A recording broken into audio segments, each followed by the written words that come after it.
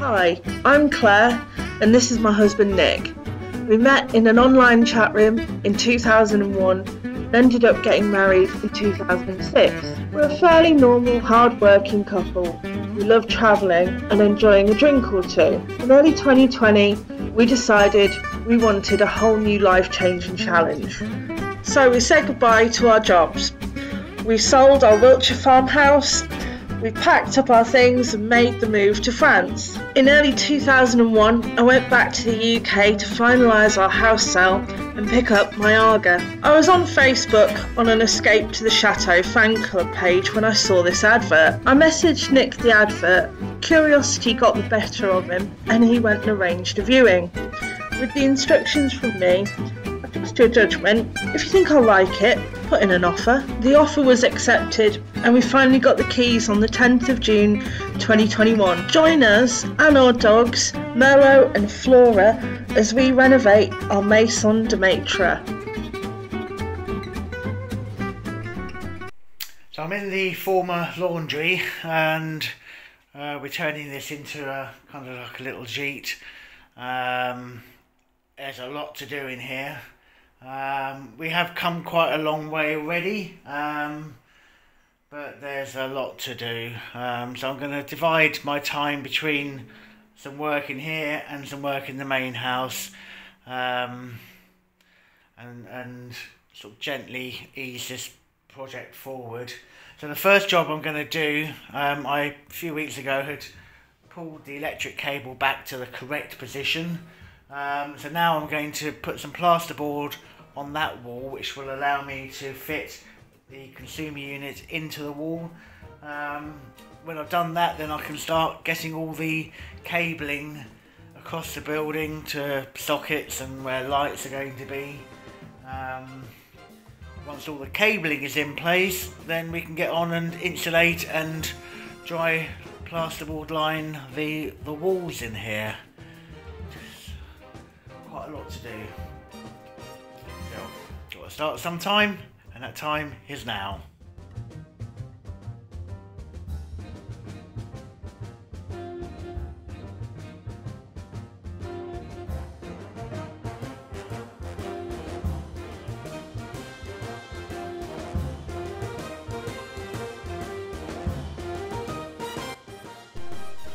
Free spider with every purchase.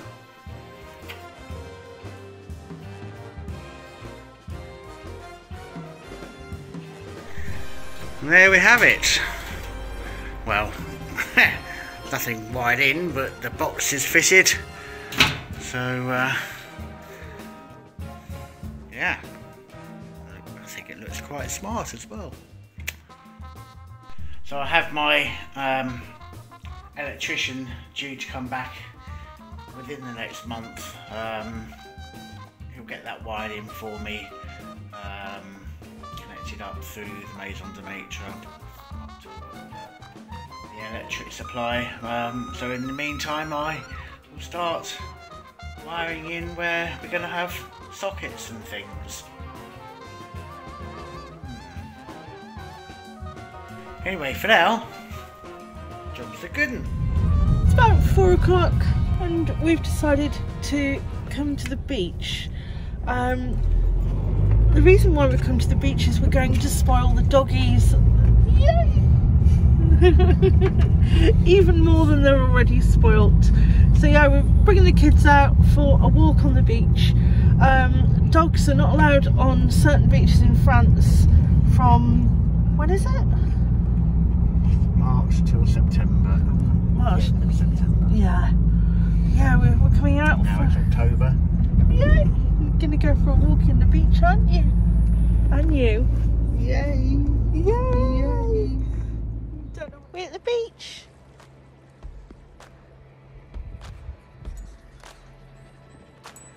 Merlot. Merlot, you happy dog?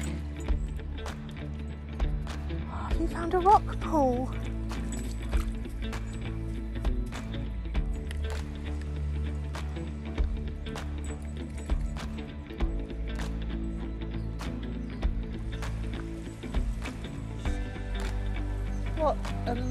Day.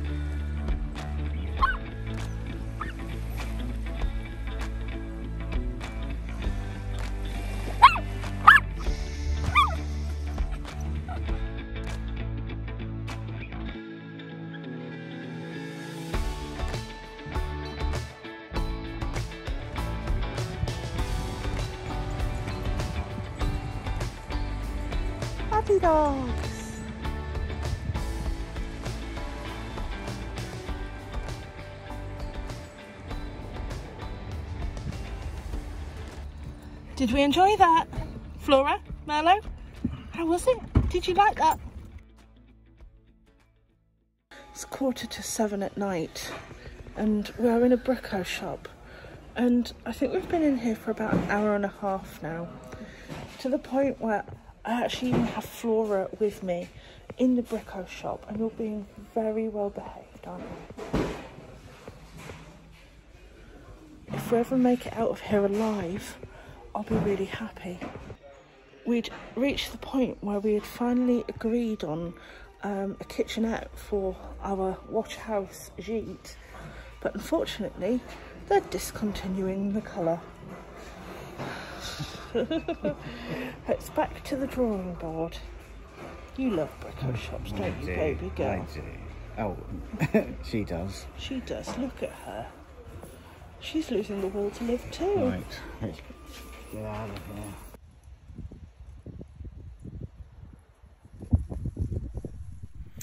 So I'm back in the Gîte and I'm going to run some electric cabling to and from the consumer unit to where I'm going to be putting power sockets.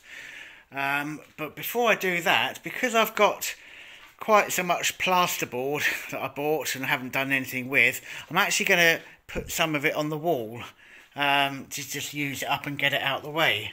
Now I started by lining around the window here, so I've done the four pieces around the window and now I'm going to cut a kind of a, a C shape um, to go from there to halfway across the window and then another piece in reverse to finish off over there.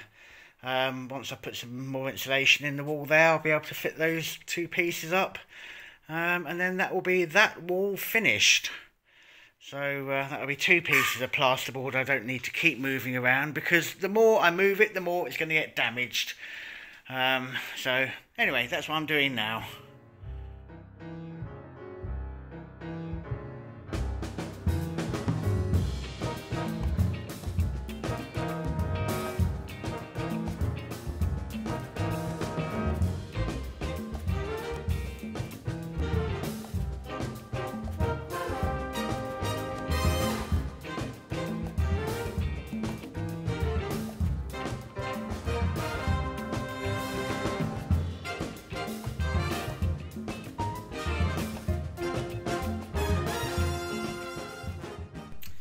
So I've just cut this sheet of plasterboard and uh, it up and it seems to be um, good for the, the space that it's going into. Um, I just need to put a bit more insulation behind it and then I can screw that to the framework and then that is that wall lined. Um, so yeah, getting there slowly, but I'm getting there.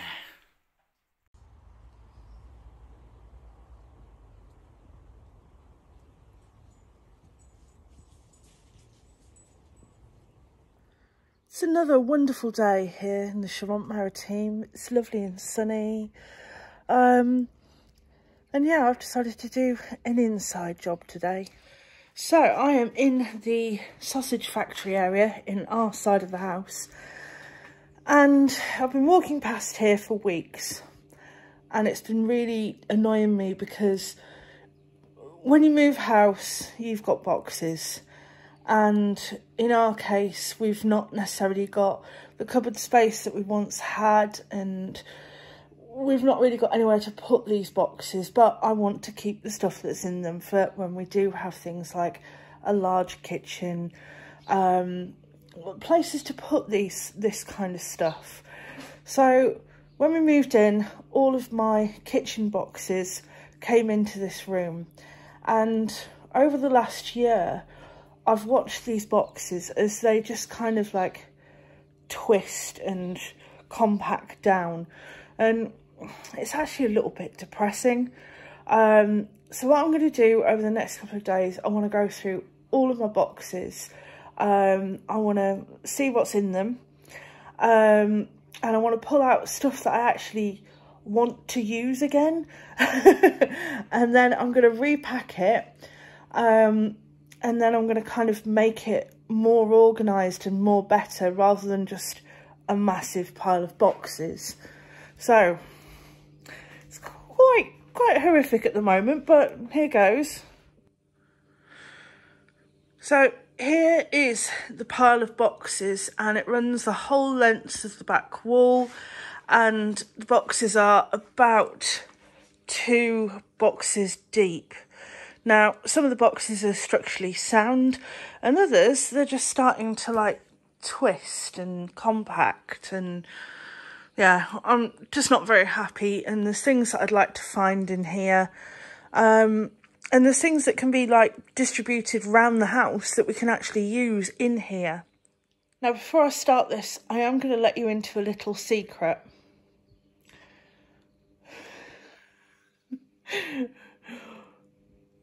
when I was packing some of these boxes, um, I still had the pub and I'd go to work at the pub and I'd come home late at night and I'd have a couple of glasses of wine and I'd pack boxes.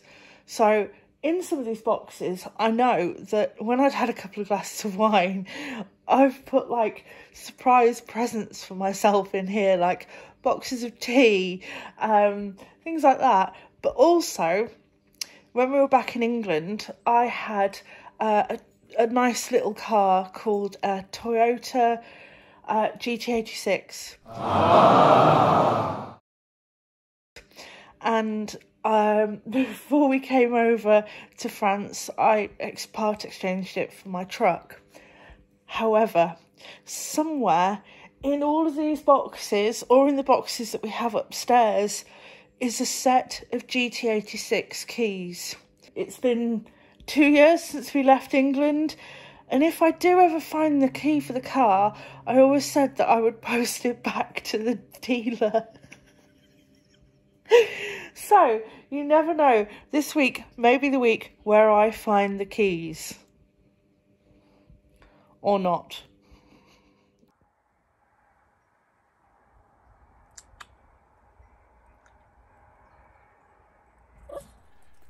So today I've been back in the uh, laundry in the bathroom area where I had done boxing on this wall with plasterboard yesterday. And today I've been working on this wall which um, I've had to add some more metal work because I hadn't done enough of that originally um, which I've now done. And I've started putting plasterboard around the window um, I can't really do too much on this wall because this is where the toilet and the basin are going. We've got the toilet, but we haven't got the basin yet.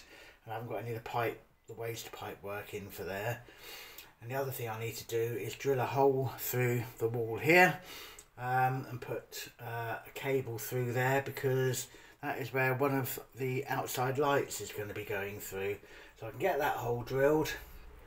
Um, I think I've reached a point now where I'm going to just start getting wiring in place. Um, yeah.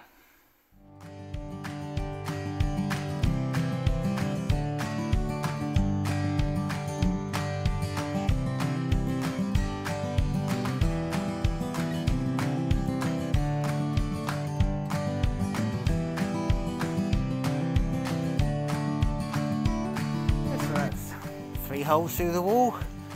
That's uh, wire through in the ducting and connect it all together inside.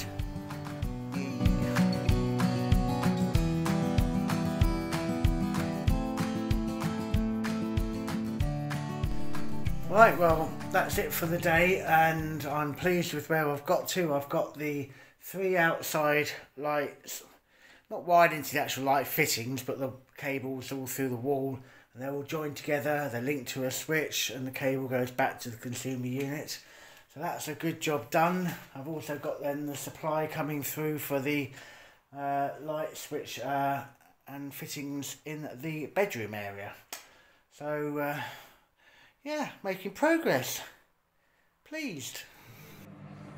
I fast forward to a couple of hours later, and this is the this is the the keep I've gone through and sorted pile, and then the rest of the room is just nah. Um, it's taken a bit longer than expected.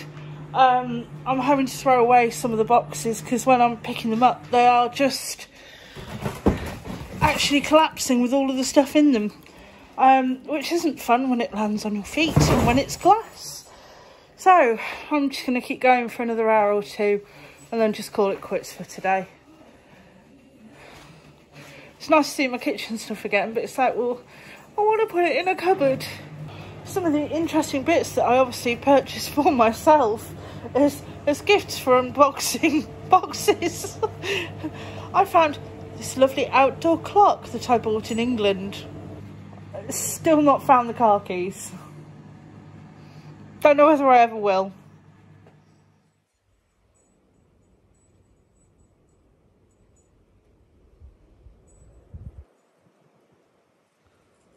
Out in the van on this lovely autumnal morning and the first stop is where? the Déchetterie. The Déchetterie, the tip, woohoo!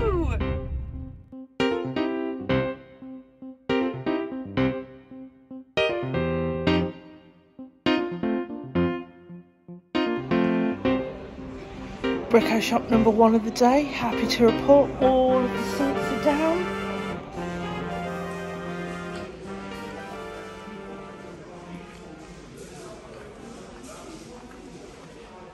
closed seat is a happy seat.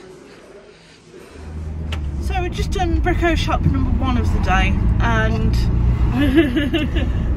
I like how you're laughing. well, not a very successful trip. We saw two bathroom heated towel rails that we wanted.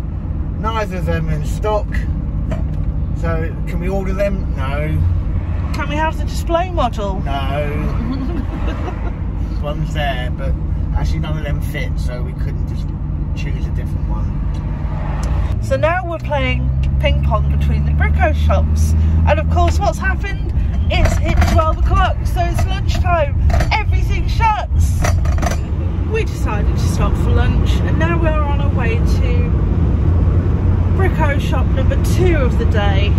Stop number one, plasterboard for the wash house.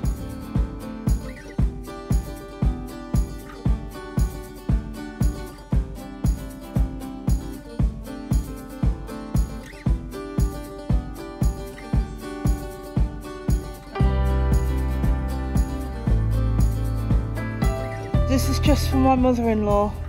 I wanted to let you know that I talked Nicholas into getting the premium wall insulation for the gîte for when you come and stay, so you may be fractionally warmer. He wanted the cheaper stuff. I said no, no expense spared for my mother-in-law. Brownie points.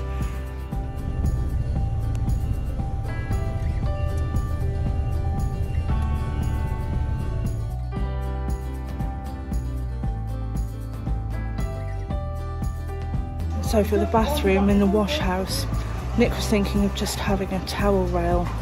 And I said, no, that's not good enough. That's not good enough for my mother-in-law. We're having a heated towel rail. Look at that, mother-in-law. 500 watts of pure heat just for you. Next thing to order is this sink vanity unit. So there's lots of places and lots of drawers and lots of space to put things but I'm not going for it in white. I have decided to go for it in this grey colour. So this is the kitchen that we were going to get in grey, but it's out of stock. This is my next choice of kitchen. I like the cabinets on it, even though we'll only have one glass fronted cabinet. I just, I think the colour of the wood's quite nice. Um, the only thing that I don't like about it I don't like the worktops. And yes, you've got a choice of worktops, but I think with all of these worktops, where they're really like plasticky, someone's going to take a knife to them and then absolutely bugger them up.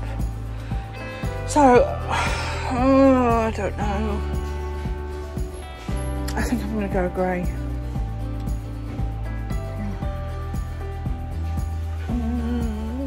A decision has been made here.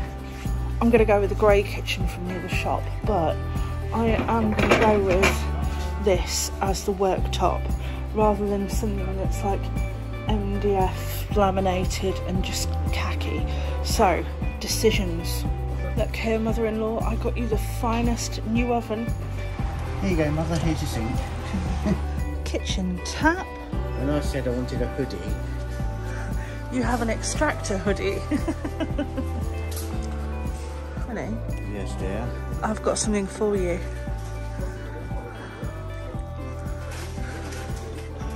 It's my loose screw.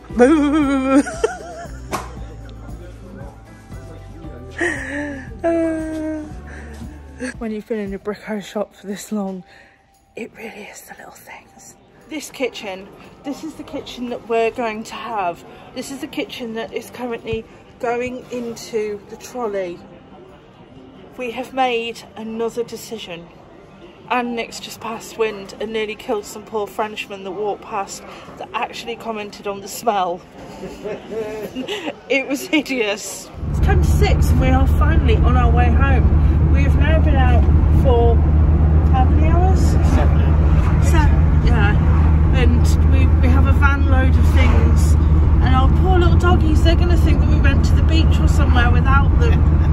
They're going to be more horrified, aren't they? Yeah, I'm going to tell them that's where we went. You're mean.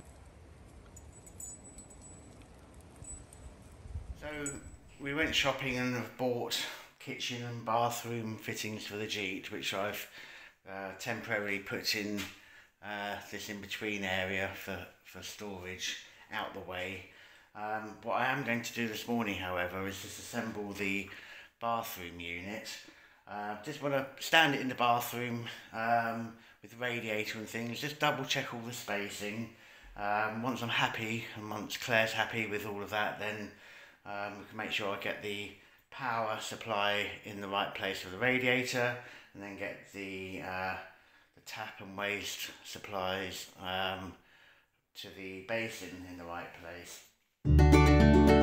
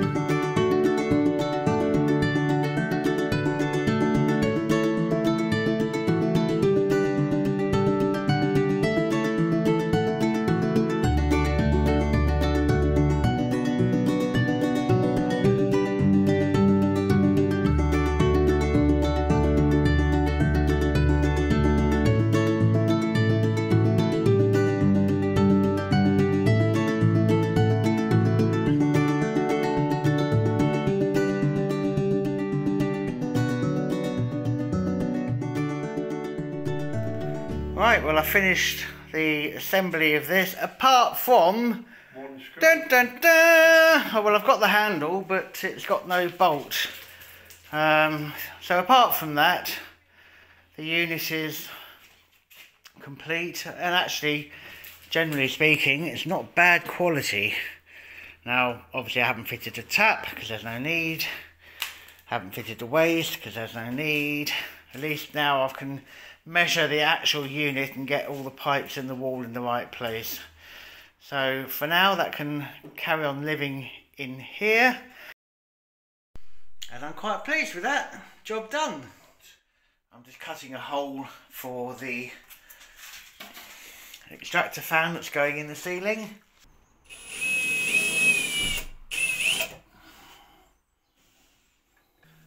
That's better. I'll be able to take that plate off when we're painting the ceiling in here. Um, I put it up there just to keep it out of the way, keep it safe. Net the ducting upstairs, which will take it to uh, any moisture or, or smells away to the outside world. Next job um, is to fit the three ceiling down lights that we've got for this room.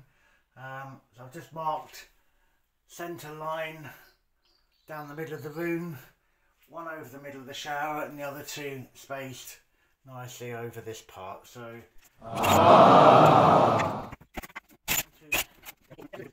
three holes.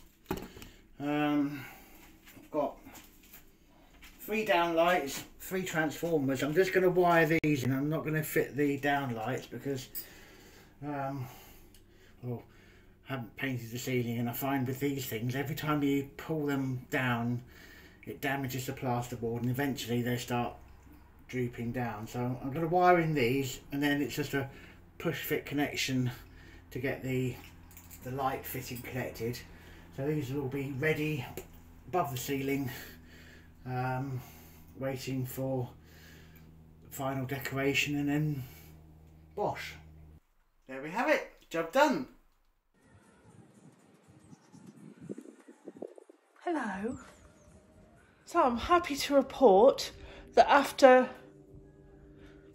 two and a half days of work, I have finally organised and sorted the sausage factory. Um, it's nice to see kind of the floor again. so I've gone through all of the boxes, I've reorganised them, I've made sure that none of them are collapsing and ruining the stuff underneath in one another, um, which I'm really happy about, and it's all condensed now, it's not spilling out across the room. In one corner of the room, um, I've put some shelving in here so that if I want anything, I can just come and get it because the kitchen in our side of the house is really tiny um, and there's nowhere to put anything. So at least I can walk through here, pick up something I want, take it through into the kitchen, use it, bring it back, and there's a place for it. And I've cleaned and sorted our stockpile of English goodies. Woohoo! Now, yep, it's not the ideal solution for all of this. I am looking forward to the future when in here is a kitchen and there's no more boxes and it's working and I can have like places to put things and oh it'll be so good but for the moment it's organised it's out the way it's not spilling into the room anymore and I know that the stuff isn't breaking so good couple of days work I'm pleased Hi! Hi! welcome to Wine of the Week. Well, I think that we've had a really productive week, especially shopping wise. I don't think I need to go to a Brico shop for a little while. Apart from I need some clips. I need wine. well, this week the wine is a little bit different. Um, bought it when my mum and dad were over um, in the summer or earlier on in the year and there was a wine fair we, we went to without Clare and um, amongst the wines I bought two bottles of this which, ah. which is um, a wine from the Basque region in the Pyrenees. Um, it is French, it's a couple of couple of miles away from the Spanish border. Um, an organic wine. They've got a couple of hectares. Um, so yeah, it tasted quite nice when we bought it and um, well, I'll let you tell me how you think it is. It smells really good. Mm. Oh, cheers. cheers. anyway, if you've enjoyed this episode, please click like, and if you haven't yet subscribed, could you do that as well, please? You can also find us on Facebook, Instagram and Twitter, or you can find out even more on our website at www.theexpatbutcher.com. Yeah, that's the one. Anyway, thanks for watching and we will see you next Sunday evening. Cheers. Cheers.